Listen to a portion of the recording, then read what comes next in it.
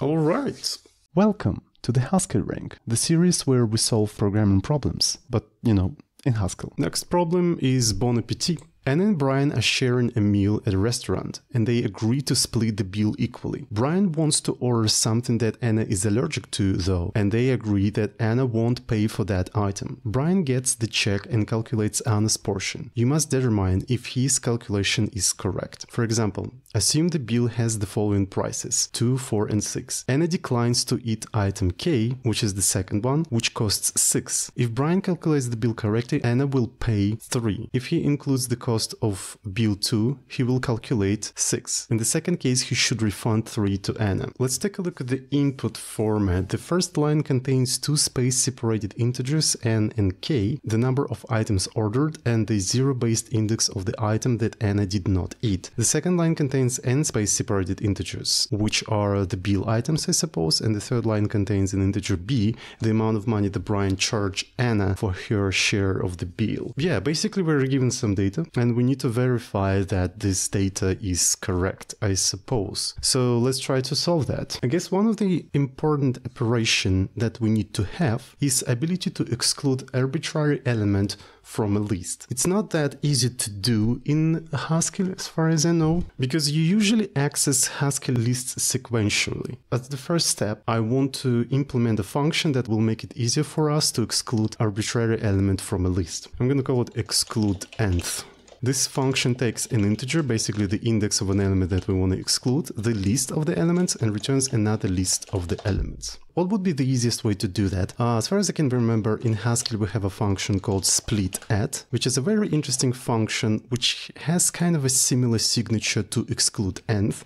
It also takes integer, a list of elements, but returns a pair of list of elements.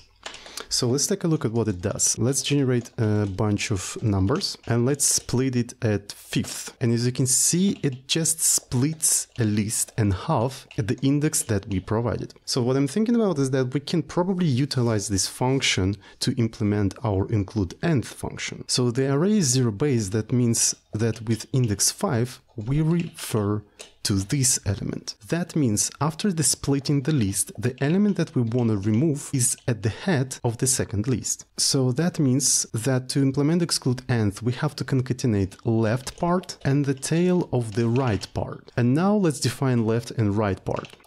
They're going to be defined uh, through split at like so. Since split at returns tuple, we assign left and right with pattern matching. This should be the implementation of this function that will exclude nth element from a list. So let's see how it works. Uh, again, let's generate a list from 1 to 10 and let's try to exclude the fifth element from it. As you can see, after 5 we have 7, so this function works, works uh, perfectly. Another interesting thing with this task is that it has a kind of a complicated input format, so I think we're not going to use interact function this time, and we're rather going to work with IO monad directly. So what I want to have, I want to have a function called getList, which reads a line from the input and parses it into a list of elements according to their implementation of read type class. So the type of this function is going to be is going to be something like that. So this function will be able to read any type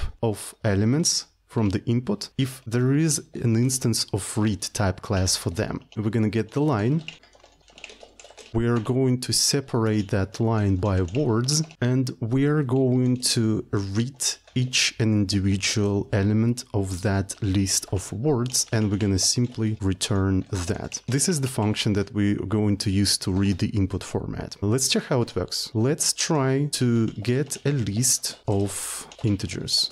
Let's provide that list and yeah, it parsed the list of integers correctly. So this is going to be a very useful function. And now let's move on to the solution. So the solution is going to take k, the index of the, of the element the Anna rejected, then the list of bill items, and B, which is basically the amount of money Anna contributed to the bill. And then this function should return the solution. But the problem is, if Brian did not overcharge Anna, print Bon Appetit on a new line, otherwise print the difference that Brian must refund to Anna. So basically, the solution may return either integer or string, but the string is always the same. String is always the same, it's Bon Appetit. So for this particular situation, I think we can try to use a type called maybe.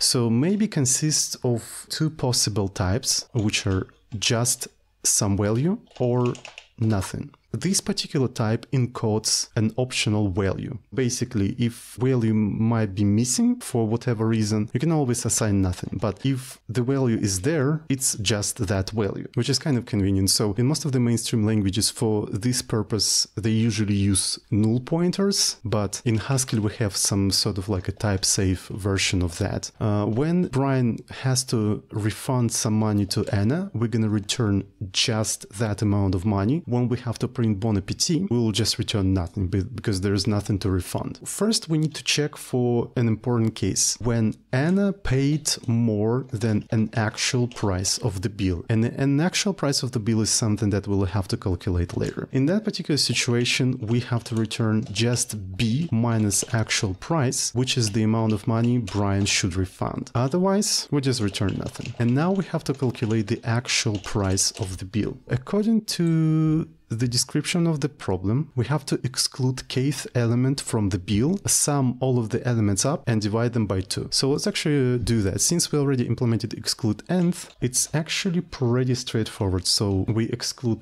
kth element from the bill, we sum everything up and we divide everything by 2. So this is how we calculate the actual price. And that should be the final solution for this particular problem. So now let's implement the main entry point for that particular solution. Since we're not using interact function here and we parse everything imperatively, I'm going to open a do block. In the input, we have three lines. First line contains n and k. Second line contains bill. And the third line contains the amount of money Anna paid.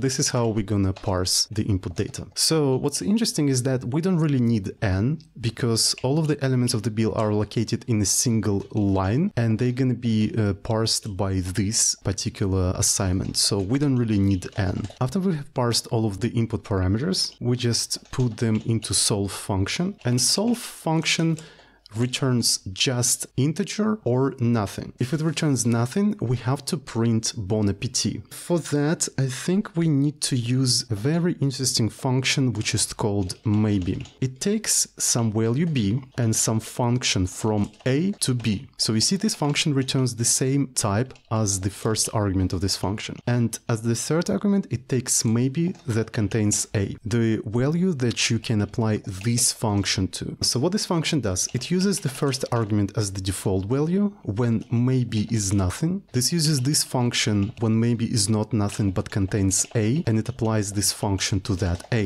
and then it returns result. You see it may either return the default value or the result of this function. So and it's really useful to unwrap maybes. Uh, let's see how it works. For example, we have a maybe which is just 5. We want to use Bon Appetit as a default value. So we're gonna do, we're gonna invoke maybe, uh, we're gonna assign a default value bon appetit, and as the function that we wanna apply to 5, we're going to use show. So show will convert 5 to string, and bon appetit is also string. So you see in this situation it returns 5. But what if maybe is nothing?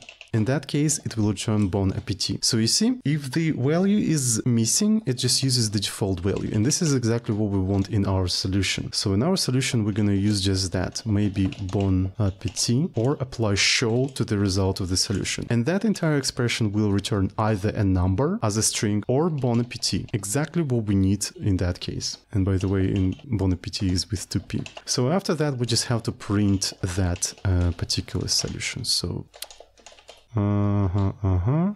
Something, something strange. Oh yeah, uh, I just forgot that get list returns a list, and I assign it to a single uh, value, so I have to actually pattern match it properly. And now it compiles. So this should be the final solution of this particular problem. So let's try to submit it.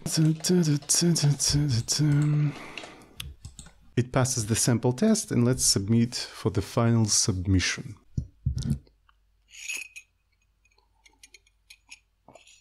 It works.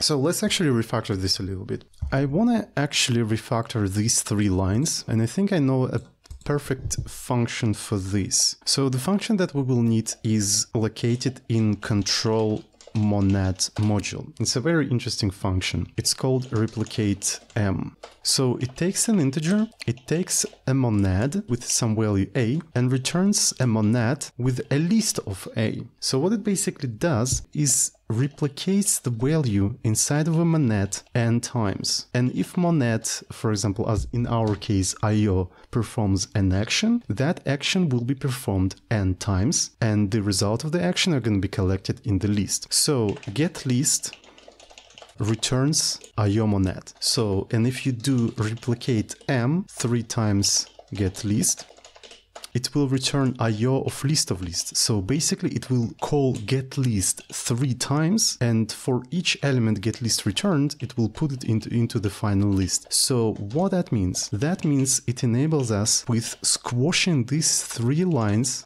into a single line like so which is actually pretty cool. And this is the beauty of Haskell. So IO is an action, and in Haskell you can treat action as the first class value and for example, replicate it and then collect the results of, of all of these actions. And I guess to for that to actually work, we need to import control monad. And now it compiles. Okay, and let's just quickly verify that this particular refactoring works. All right, it works. Next problem.